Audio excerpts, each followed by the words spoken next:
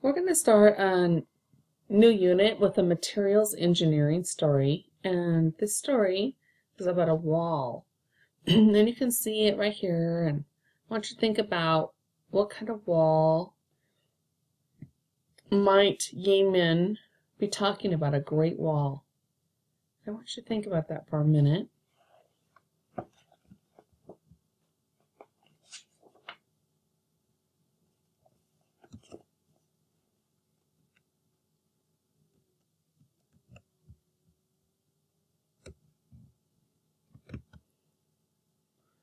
We're going to talk about the Great Wall that is in China. In China, we are here, right there on the red line, right there. We are clear over here in Denver, Colorado. And we're going to talk about the Great Wall of China. That's going to be our focus um, for this next unit. Why would they call it, let's go back for a minute. Why would they call a wall the Great Wall of China? Why would they need a Great Wall of China? In fact, let's look at the Great Wall of China. I'm going to pull it up. Great Wall of China. and let's look at it. So here's Great Wall of China. Pull up an image here so you can see it. Move this over. And there's a lot of images here. Why would this be a famous wall? Great Wall of China. See, it's going around. Why would you need a wall in China? Is that wall still there? What are you thinking about when you think of that? Our story is going to take us and find out this girl named Yi Min and what she thinks about the Great Wall of China.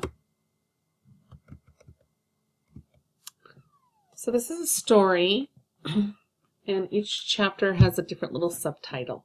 This is called The Bandit Bunny. Chapter 1 Min peered through tall bamboo reeds into the schoolyard garden. It was hard to sit like a statue, not moving a muscle, but still she didn't budge.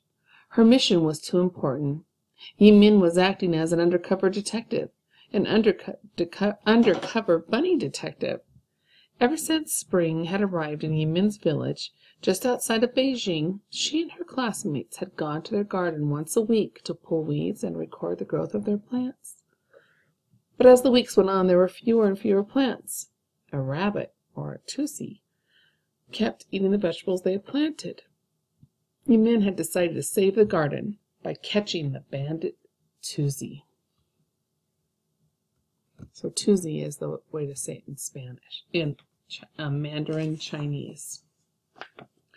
She imagined the thief, a soft brown rabbit wearing a small black mask over his eyes. He would hop slowly and quietly into the garden and munch away. Yimin would jump out from behind the bush and yell, Ni hao! Hello! The bunny would be too scared to come back, and Yimin's whole class would thank her for saving their garden. Yimin yawned. The problem with being an undercover bunny detective, she thought, is that sitting still like a statue is no fun. Maybe her friend Shen would come help her. Yimin stood and stretched her sore muscles. Her detective work would have to wait until tomorrow.